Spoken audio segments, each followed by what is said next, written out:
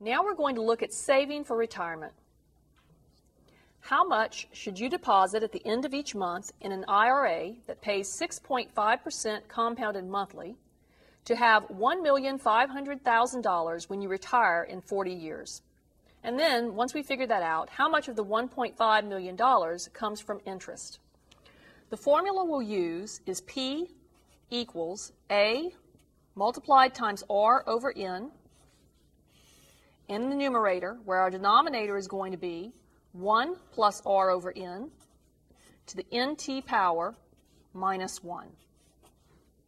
So we're going to try to solve for p by substituting our value of a as 1.5 million.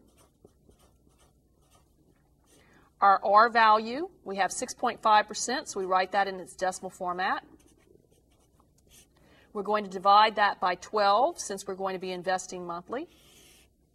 In our denominator, we're going to have 1 plus r over n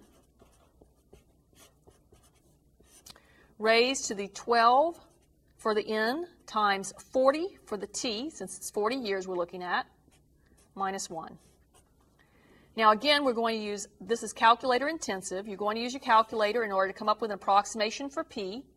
What you should do as a student is to double check by using your calculator to see if you're coming up with the same value that I'm coming up with here. And we come up with approximately $704. Now, how much have you actually invested?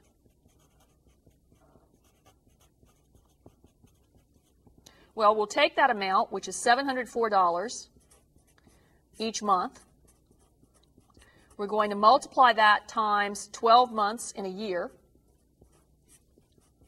And we're going to multiply that times 40 years. And so if we come up with that value, we have $337,920.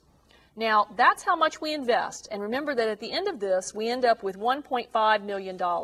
So how much of this amount is coming from interest?